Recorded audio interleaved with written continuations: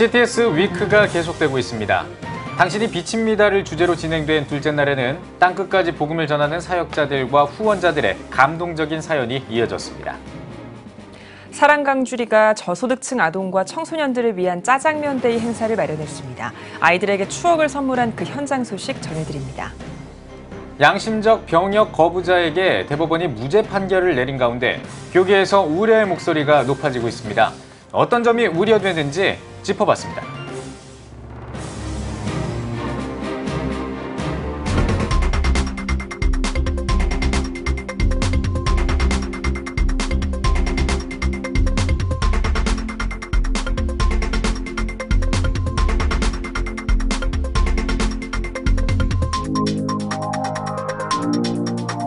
시청자 여러분 안녕하십니까? 11월 14일 수요일 CTS 뉴스입니다. CTS 특별 모금 방송 CTS 위크가 빛으로 세상으로를 주제로 이번 한 주 동안 계속되고 있습니다. CTS 위크 둘째 날은 이 땅에 복음을 전하는 사역자들을 위해 기도하고 동역하는 후원자들의 감동적인 사연이 이어졌습니다. 김인혜 기자가 전해드립니다. 당신이 빛입니다를 주제로 진행된 특별 모금 방송 CTS 위크 둘째 날. 세계 열방 땅끝까지 예수님의 빛을 전하는 목회자들을 도운 CTS의 사역과 CTS를 통해 빛으로 거듭난 주인공들을 만났습니다. 경북 영덕의 작은 어촌마을에서 사역 중인 대탄 갈릴리 교회 강미숙 전도사.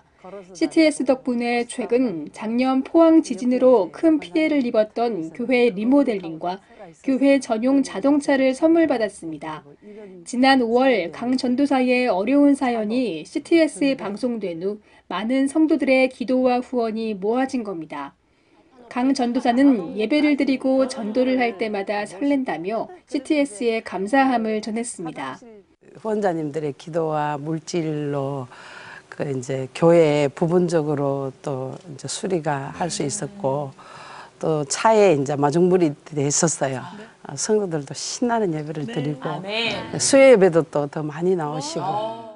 서울 동자동 쪽방촌에서 복음을 전하고 있는 작은 자교회 최화성 목사. 최근 8평 정도 되는 옛 교회 건물은 그대로 두고 새 건물로 확장 이전했습니다.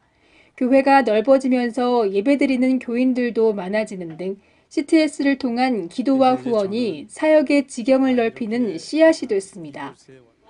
CTS 출연자에서 시청자가 된 주인공도 있었습니다. 경기도 화성에 있는 더 열린 교회 김성민 목사.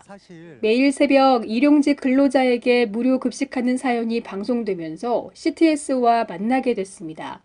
특히 공중파 채널만 나왔던 TV에 일부러 케이블을 신청해 CTS를 보기 시작하면서 김 목사 가족은 방송으로 더 큰 은혜를 받고 있습니다.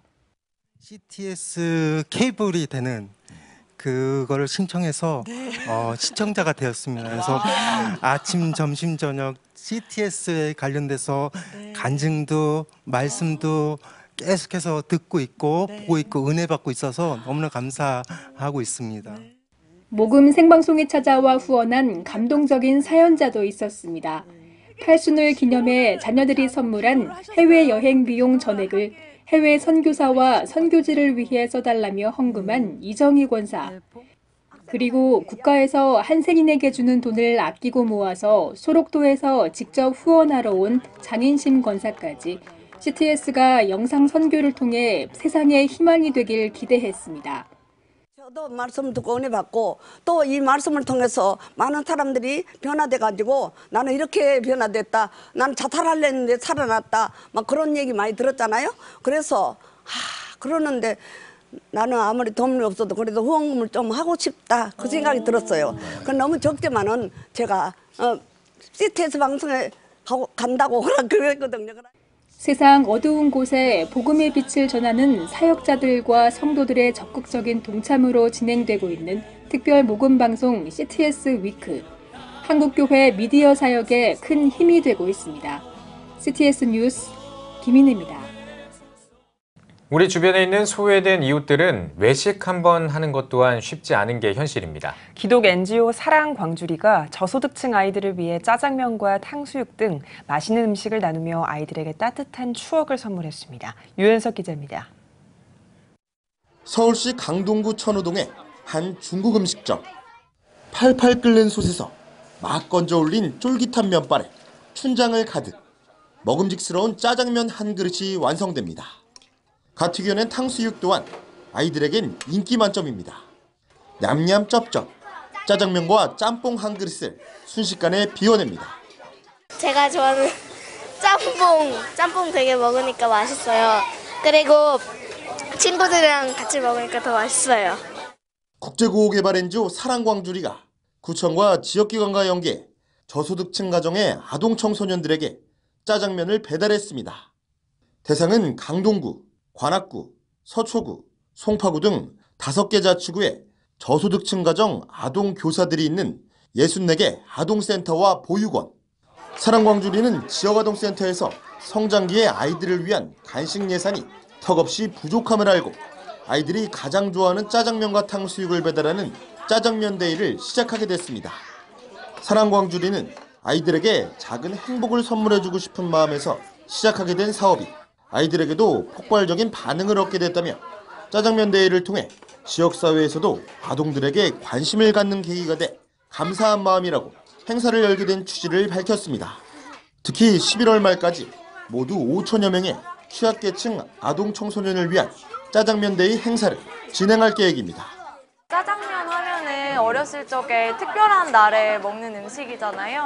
또 이렇게 특별한 날에 또 서- 선생님들과 또 친구들과 함께 짜장면을 먹으면서 아이들에게 또 행복한 추억을 선물해 줄 수 있지 않을까 하는 생각이 듭니다. 강동구의 한 중국 음식점은 짜장면 데이의 취지를 공감하면서 강동구 성내동의 지역아동센터 아이들을 위해 하루를 휴점하면서까지 행사에 참여하겠다고 하는 등 곳곳에서 사랑의 손길이 더해져 더욱 풍성한 나눔이 됐습니다. 서울 중심 지역아동센터는 맛있는 짜장면을 통해 아이들이 배도 채우고 그리스도의 사랑을 나눈 것 같아 너무 감사하다고 전했습니다. 지금 이렇게 어, 가게에 와서 바로 아이들을 먹을 수 있게 해주셔가지고 그게 너무 감사하고요. 아이들이 일단은 짜장면 떡이 아니라 제대로 된 짜장면을 맛볼 수 있게 해주셔서 감사하죠. 네, 감사합니다. 추운 겨울을 앞두고 취약계층 아동 청소년을 위해 열린 짜장면 데이 아이들에게 따뜻한 추억을 선물했습니다. CTS 뉴스 유현석입니다. 지난 11월 1일에 대법원 전원 합의체가 양심적 병역 거부로 기소된 여호와의 증인 신도에게 무죄를 선고했습니다. 교계에서는 여러 가지 이유로 이번 판결을 우려하고 있습니다. 박세현 기자가 짚어봤습니다. 지난 11월 1일 대법원 전원 합의체는 육군 현역 입영 통지를 거부해 기소된 여호와의 증인 신도에 무죄를 선고했습니다. 징역 1년 6개월을 선고한 원심 판결을 깬 겁니다. 전문가들은 14년 만에 뒤바뀐 무죄 판결이 국민 정서에 맞지 않을 뿐 아니라 큰 파장을 몰고 올 것이라는 우려입니다. 우리나라 국민의 80%가 이 병력 거부에 대해서 인정하지 않고 있습니다. 그래서 이번에 완전히 대법원의, 대법원의 판결은 국민적 정서를 완전히 무시한 판결이라고 볼 수 있는 거죠. 그래서 지금 일부에서는 어, 지금 탄핵 문제도 거론되고 있습니다. 대법원의 판결은 이것을 우리가 헌법 소원도 할 수가 없습니다. 아니 그 최종 판결이에요. 지난달 아들을 군대에 보낸 한 학부모는 대법원의 판결에 울분을 표출합니다. 집에 친엄마 자기 엄마한테 참 우리 애 엄마한테 편지를 써놓고 갔는데 그 편지에 뭐 힘든 부분들을 그동안 마음적으로 이렇게 그 엄마 아빠한테 못했던 부분들에 대해서 편지를 써놓고 갔는데 제가 목이 메이더라고요. 그런데 그것까지는 좋았는데 그 대법원 판결 그 양심적 거부자라고 그걸 해놓고 나서 하니까 그 다음날 화가 얼마나 나는지 말도 못하게 화가 났습니다. 그래서 제가 청와대에다 글을 다 올렸어요. 특정 종교인 여호와의 증인 손을 들어줬다는 시각이 지배적인 이번 판결로 교회에 미치는 영향도 우려가 큽니다. 젊은이들 사이에서 여증 코인, 즉 여호와의 증인에 가입하면 대박이라는 말이 성행할 만큼 관심이 높아지고 있다는 겁니다. 여호와의 증인을 택함으로 병역을 기피하고 이를 혜택으로 여기는 사회 분위기가 조성될 수밖에 없다는 목소리입니다. 이번 판결로 양심적 병역 거부자 대체 복무제 구성이 급물살을 탈 것으로 예상되는 가운데 대체 복무 마련에 대한 바람과 우려도 뒤섞입니다. 대체 복무가 군 기피 수단으로 악용되지 않게끔 형평성 있는 제도가 마련되는 것이 합당하다는 목소리입니다. 누가 군대 가기 좋아하는 사람 있겠습니까? 아예 지금 비정상이 정상적인 것이 비정상화돼 버리고 비정상 것이 정상화돼 버린 이런 시대에 특히 우리 아이 다음 세대들은 당연히 군대 안 가고 여호와의 증인으로 쏠릴 것입니다. 특히 교육을 통해서 그래서 군대 가기 운동 한다든지 캠페인도 좀 필요할 것이라고 보여지고요. 또 결의를 해야 한다든지 좀 그런 부분도 좀 있어야 될 거라고 보여집니다. 14년 만에 뒤집힌 양심적 병역 거부 판결. 이로부터 이어질 파장을 우려하는 목소리가 커지고 있습니다. CTS 뉴스 박세현입니다. 한국세계선교협의회 KWMA가 함께 그곳 수소를 주제로 한국 선교 지도자 포럼을 개최했습니다. 지난 6월에 열린 세계선교대회의 논의를 실행하기 위해 마련된 포럼에는 200여 명의 선교 관계자들이 참석했습니다. 포럼에서는 한국교회 해외 선교 역량에 대한 기초조사, 설문조사를 공유하고 선교 22개 영역의 실행위원회를 구성했습니다. 또 6대 분과 실행위원회를 통해 2030년까지 10만 선교사를 파송하자는 타겟 2030 운동의 실행 계획을 논의했습니다. 감리교 전국 여교역자회가 성추행과 금권 선거 의혹을 받는 전준구 목사의 서울 남연회 감독직 사퇴를 촉구하는 서명을 받고 있습니다. 감리회 여교육자회는 입장문에서 전 목사는 개교의 담임뿐 아니라 감리회 영적 지도자로 자격이 없다고 지적했습니다. 또한 전준구 목사는 성추행을 당한 여성들에게 용서를 구하고 감독직뿐만 아니라 목사직도 내려놓아야 한다며 전 목사의 사퇴와 면직 운동에 적극 동참해달라고 촉구했습니다. 기독교 대한 성결교회가 희망찬 미래를 열어가는 신앙의 자녀 대입기 운동 세미나를 열었습니다. 기성총회 윤성원 총회장은 한국교회는 저출산 문제로 사회 전반적인 위기를 겪고 있다며 교회 성장을 위한 신앙의 자녀 대입기 운동을 통해 부흥의 비전을 함께 나누길 바란다고 전했습니다. 이번 세미나에서는 장로회 신학대학교 박상진 교수와 서울신학대학교 송교훈 교수가 참석해 교회 성장과 저출산 극복을 위한 비전을 함께 나눴습니다. 신간 신학자의 얀후스 기행의 기자간담회가 열렸습니다. 저자인 영남신학대학교 김승호 교수는 600년 전에 얀 후스가 지나간 장소를 따라가면서 그와 동행하는 행복을 누릴 수 있었다며 본받을 만한 신앙의 위인을 찾기 어려운 이 시대에 이 책을 대하는 독자마다 희미해진 신앙의 열정이 다시금 타오르는 계기가 되길 바란다고 전했습니다. 김 교수는 이 책은 개혁자 후스의 인간적인 면모와 더불어 체코 종교개혁의 사회, 정치, 경제적 요인들을 보여주면서 후스의 순교가 우리에게 던지는 질문을 크리스천들에게 제시해주는 책이 될 것이라고 강조했습니다. 세계 CEO 전문인 선교회가 2018 자랑스런 전문인 선교 대상 시상식을 열었습니다. 5.18 기념재단 이사장 김영진 장로와 대한예수교 장로회 통합총회 전국 장로회 연합회장 안옥섭 장로, 의왕 시티병원 이건호 의료원장과 한국기독교 직장선교연합회 이상구 전 이사장, 한국대학기독총장 포럼 정상훈 회장이 상을 받았습니다. 2018 자랑스러운 전문인 선교 대상은 세계 CEO 전문인 선교회가 예수 그리스도의 선교 명령과 문화 명령에 충성한 각계각층의 기독인들을 발굴해 그 공로를 치하하고 있습니다. 기독교대학 감리회와 한국기독실업인회 CBMC가 공동 주최하는 청년의 취업과 창업을 돕는 비전 클릭 컨퍼런스가 다음 달 7일 금란교회에서 열립니다. CBMC 측은 이번 컨퍼런스는 청년과 대학생에게 1대1 멘토링 시스템 교육 과정을 이수하게 해 예비 창업, 취업 준비생으로서 필요한 기본 역량을 갖추게 한다는 게 특징이라고 전했습니다. 한국 CBMC 이승률 중앙회장과 기독교대학감리회 교육국의 김낙환 총무, 신협 나사렛 이선상 이사장과 비전을 꿈꾸는 사람들 김성준 대표 등이 강사로 나섭니다. 창립 40주년을 맞은 사랑의 교회가 제자 훈련의 국제화를 위해 새로운 차원으로 도약할 것을 다짐했습니다. 사랑의 교회는 이번 112기 칼 세미나에 14개 나라 175개 교회 300여 명의 목회자들이 참여했으며 이 중 280명이 수료했다고 강조했습니다. 국제제자훈련원 훈련원 원장 오정현 목사는 하나님께서 한국과 세계의 수많은 사역자들에게 잠자는 평신도를 깨워 목회의 동역자로 부르셨음에 감사드린다며 제자 훈련 2.0 시대를 맞이해 제자 훈련의 국제화가 가시화될 수 있기를 기대한다고 전했습니다.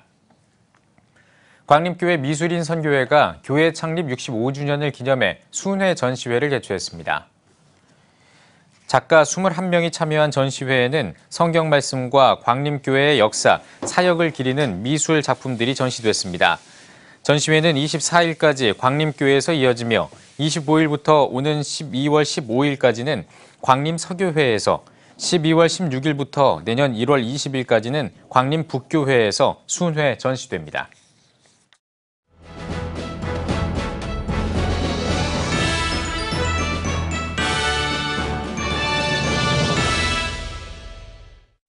전국 각 지역별 네트워크 뉴스입니다. 조치원 지역교회 연합회가 조치원 제1침례교회에서 2018 세종시 지역 복음화 대부흥성회를 개최했습니다. 영혼의 때를 준비하라란 주제로 조치원 지역 46개 교회가 연합해 드린 집회에서 강사로 나선 큰빛교회 권호성 목사는 성경은 죄에 대해 엄중히 경고하고 있다며 우리가 철저히 회개하고 죄사함을 받아 하나님의 능력을 얻길 바란다고 전했습니다. 성도들의 성령 충만과 또 교회의 연합, 더 나아가서는 이단 척결과 또한 현재 세종시에서 문제가 되고 있는 불교 문화 체험관 이러한 것을 우리 성도들이 바로 알고 예, 많은 사람들이 이번 기회를 통해서 전도가 될 걸로 믿습니다. 아울러 참석한 성도들은 조치현 지역 복음화와 영적 성장, 세종시 전월산의 특정 종교 지원 사업 철회를 위해 기도했습니다. 대전 충청 학원 복음화 협의회가 창립 20주년을 기념해 대전 제1교회에서 청년 말씀 축제 백도씨를 개최했습니다. 셋째 날 강사로 나선 GNM 글로벌 문화재단 문혜란 대표는 지금 청년 세대의 문제는 부모 세대가 말씀을 가르치지 못한 것이라며 하나님의 말씀과 성령의 힘으로 세상을 이겨내는 청년들이 되길 바란다고 전했습니다. 이어 탤런트 한인수 장로와 개그우먼 김진, 김지 선 집사 등이 나서 토크 콘서트와 대전 지역 청년을 위한 기도회가 진행됐습니다. 아, 우리 대전 지역 청년들을 말씀 기도를 통해서 우리 많은 청이 은혜 받았거든요. 그래서 힘을 얻고 또 캠퍼스에서 또 지역교회에서 어, 열심히 사역하는 우리 청년들이 좀 일어났으면 좋겠다. 그런 취지로 이번 행사를 진행하게 되었습니다. 사흘 동안 진행된 이번 청년 말씀 축제에는 사단법인 PPL 대표 김동호 목사와 부산 보전교회 박성규 목사 등이 강사로 나서 청년 대학생을 위한 비전을 제시했습니다. 대전 더드림교회가 교회 창립 71주년을 기념해 가족 신앙 사경회를 열고 있습니다. 회복과 감사, 갱신과 부흥을 주제로 개최된 두 번째 감사 집회에서는 말씀을 전한 더드림교회 이광호 목사는 더드림교회 71년을 이끌어주신 하나님께 감사드린다며 호흡이 있는 한 하나님을 찬양하며 축복받는 성도들이 되자고 전했습니다. 이어 특별 초청 찬양에 나선 CTS 대전방송 장로 중창단은 주의 크신 은혜와 기도의 시간 등 성가곡 10곡을 선보였습니다. 더드림교회 가족신앙 사경회에서는 오는 18일과 25일 이대근 목사의 갱신 집회와 김윤태 목사의 부흥 집회가 각각 이어질 예정입니다. 괴산군 교회음악 지도자 모임이 괴산 제1교회에서 제1회 괴산군 성가합창제를 열었습니다. 괴산군 교회음악 지도자 모임 창립 기념 예배에서 괴산 중앙교회 홍일기 목사는 다윗은 하나님을 찬양하는 삶을 살 때 기도마다 응답받고 하나님을 체험하며 부족함이 없는 삶을 살았다며 우리도 하나님을 늘 찬양하고 자랑하며 그 이름을 높이는 삶을 살길 바란다고 전했습니다. 이어진 성가 합창제에선 괴산 중앙교회와 증평 중앙교회를 비롯해 4개 교회와 2개 특별 찬양팀이 출연해 성가 합창을 선보였습니다. 기독교 대한감리회 충북연회 감독 이취임 예배가 충주 동부교회에서 드려졌습니다. 기독교 대한감리회 전명구 감독회장은 지금 한국교회가 힘든 건 우리가 사명감을 잃어가고 있기 때문이라며 분명한 사명을 갖고 꿋꿋이 걸어나가는 충북연회가 되길 바란다고 당부했습니다.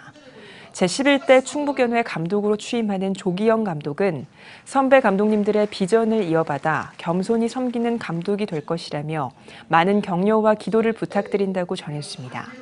이어 신임 감독에게 연회기와 의사봉이 인계됐습니다. 조기영 감독은 협성대학교 신학대학을 졸업하고 현재 충주 동부교회 담임 목사이며 충무연회 국내외 선교사업분과 위원장을 역임했습니다. 청주 서문교회가 국내 저명 인사들을 초청해 2018 기독교 변증 콘퍼런스를 열었습니다. 청주 서문교회 박명용 목사는 과연 하나님은 과학적일까라는 질문을 가지고 이 콘퍼런스를 준비했다며 이 자리를 통해 과학이 하나님을 증거하고 있다는 사실을 발견하길 바란다고 말했습니다. 이번 콘퍼런스에는 서문교회 박명용 목사를 비롯해 변증전도 연구소장 안환균 목사와 아주대학교 화학과 이재신 교수, 서강대학교 이승엽 교수 등이 강사로 참석했습니다. 어노인팅 초청 찬양 집회가 양동 제일교회에서 열렸습니다. 지역 청년과 청소년들에게 기독 문화를 전파하기 위해 마련된 콘서트에서 양동 제일교회 김경준 목사는 영원한 하나님의 말씀을 신뢰한 아브라함처럼 영원하신 하나님 나라를 위해 비전을 가지고 살아가는 세대가 되길 바란다고 전했습니다. 이어진 콘서트에서 어노인팅 미니스트리의 예수 십자가의 보혈로와 주의 친절한 팔에 안기세 등의 찬양이 진행됐습니다. 아울러 양동 제일교회는 청년 캠퍼스 사역 세미나와 청년 리더십 스쿨, 결혼 예비학교 등 청년들의 올바른 신앙관 정립을 위해 다양한 사역을 진행하고 있습니다. 양동 제일교회 예술인 사역부가 목포 문화예술회관에서 제10회 목포 크리스천 예술제를 개최했습니다. 개회 예배에서 양동 제일교회 곽군용 목사는 현대 크리스천은 영성과 지성, 감성의 조화를 이루며 살아가야 한다며 각 작품 속에 스며 있는 예수 그리스도의 향기를 맡는 축복을 누리길 바란다고 전했습니다. 목포 지역 기독예술인 40여 명이 참여해 14일까지 진행되는 이번 예술제는 미술과 서예, 사진, 공예를 비롯해 성경 필사 등 다양한 분야 예술작품 100여 점이 전시됐습니다. 대한예수교장로회 통합 측 순서노회 제42회 1차 정기노회가 보성읍교회에서 열렸습니다. 신임 노회장으로 추대된 천포교회 위용훈 장로는 하나님 말씀을 따라 살며 노회 안의 교회들이 부흥되도록 섬기는 노회장이 되겠다고 밝혔습니다. 정기노회에서는 각부 위원회 보고가 이뤄지고 새로운 안건을 토의했습니다.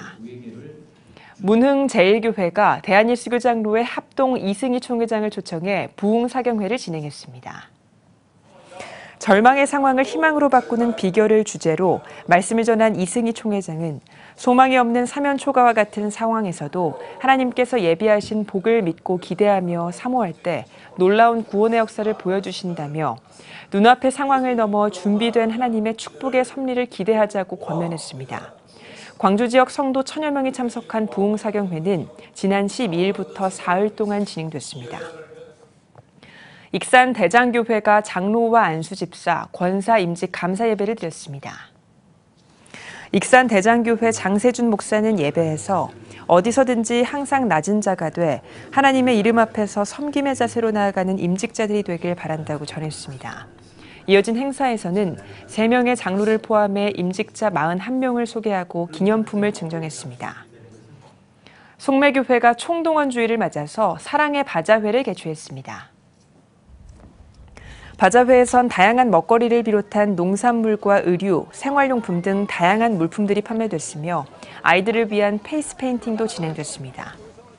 사람 한 번 모이고 끝나는 것이 아니라 우리 송매교 좋은 성도들이 전도 체질로 하는 교회로 만들기 위해서 어, 총동원 전도를 두 번 하고요.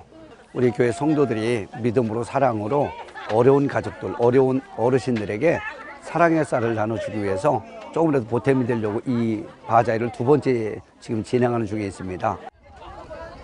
송매교회 바자회 수익금은 매년 어려운 이웃들을 위해 진행하고 있는 사랑의 쌀 나눔에 쓰일 예정입니다.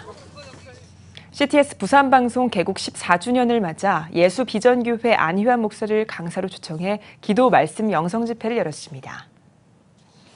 집회에서 예수 비전교회 안희환 목사는 하나님을 향한 열정과 믿음을 갖고 살아야 한다며 말씀을 읽고 기도하는 것을 날마다 훈련하고 생활화해야 한다고 강조했습니다. 이어 CTS 부산방송의 영상 사역과 비전을 소개하고 이 시대에 복음을 전하기 위해 필요한 영상 사역에 기도와 후원으로 동참해 줄 것을 요청했습니다.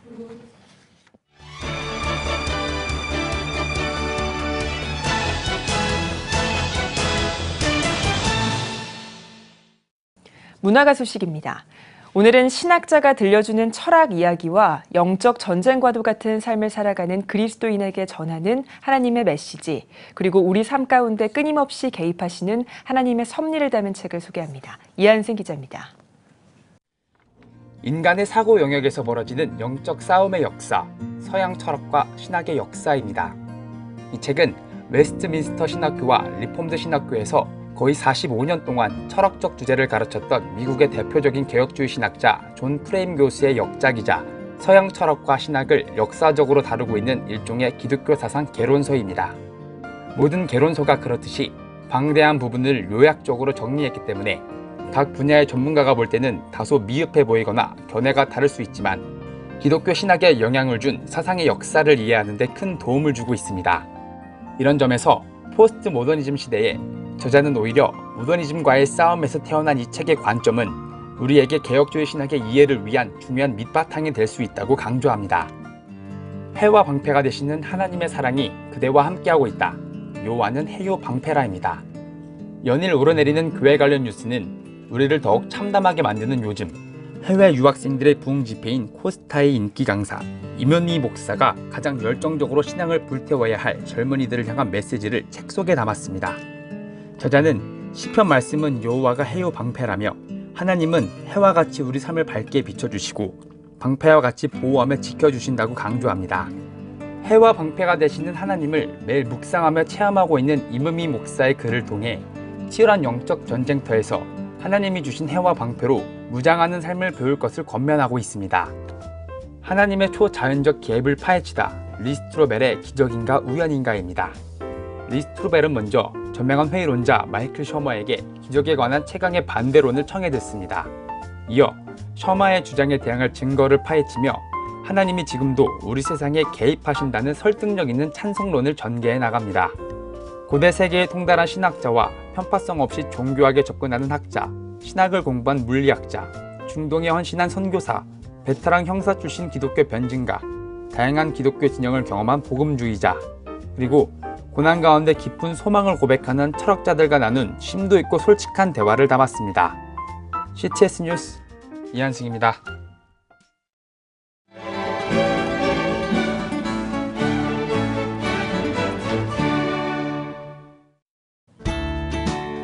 오늘은 전국이 대체로 맑겠습니다. 낮 최고 기온은 11도에서 17도가 되겠습니다. 주간 날씨 해봅니다. 기압골과 동풍의 영향으로 16일은 제주도에, 17일은 제주도와 강원 영동에 비가 오겠습니다.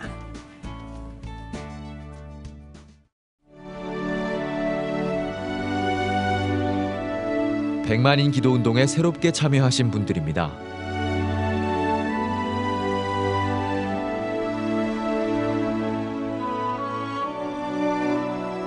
백만인 기도 운동을 통해 보내주신 후원금은 국내는 물론 전 세계를 향한 CTS의 영상 선교 사역을 위해 소중하게 쓰이고 있습니다.